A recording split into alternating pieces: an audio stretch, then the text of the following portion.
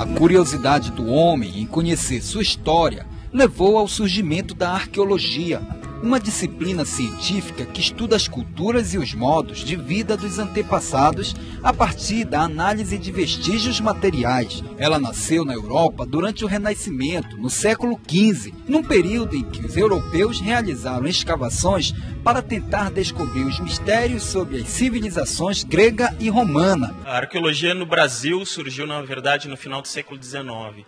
Então, houve, uh, por parte de vários setores uh, do de museus, uh, o interesse em recuperar peças indígenas, inclusive para fortalecer a identidade brasileira, né?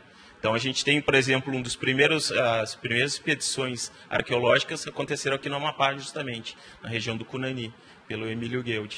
O arqueólogo explica o que motivou as expedições de Emílio Guild ao Amapá. A questão do Cunani é interessante porque o Guild veio aqui, era a época do contestado franco-brasileiro, e ele veio fazer pesquisas aqui justamente para demarcar, digamos, o território frente à França. Então, mostrando que os brasileiros estavam realmente interessados em conhecer aquele território para a gente conseguir anexar ele finalmente ao Brasil. O Amapá foi um dos primeiros estados do Brasil a ser pesquisado arqueologicamente. Atualmente, mais de 400 sítios arqueológicos estão mapeados no estado. Desses, 30 estão sendo estudados pelos pesquisadores do IEPA.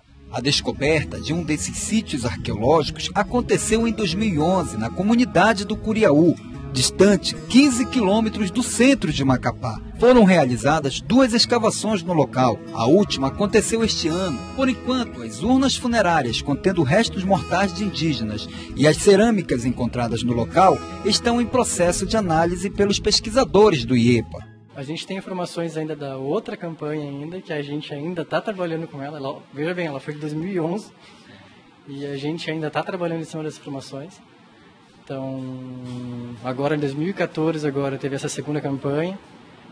Então, provavelmente ainda vai demorar bastante para sair realmente todos os resultados, mas algumas coisas a gente conseguiu ver que já tinha sido na, na campanha de 2011, que é essa coisa da presença de sepultamentos com áreas de habitação,